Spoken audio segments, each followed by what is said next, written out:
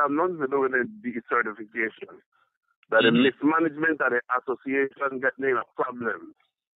Two, if they put my name in and they audit that I cause them to get decertified, then I will sue them backside.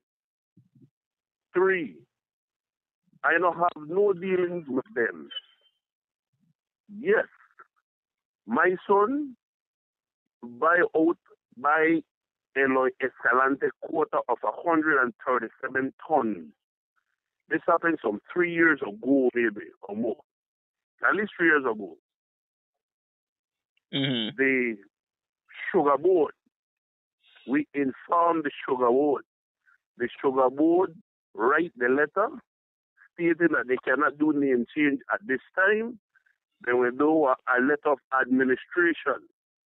The following year, they're supposed to change and correct their books because Eloy Escalante is not the person producing cane.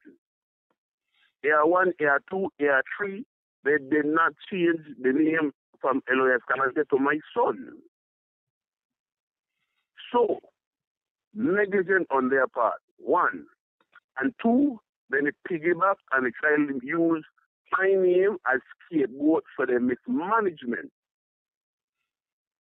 Mm-hmm. Because over 60, over 60 cane farmers are in that same situation whereby did not change from administration to cane farmers and those 60 plus farmers are delivering to the factory.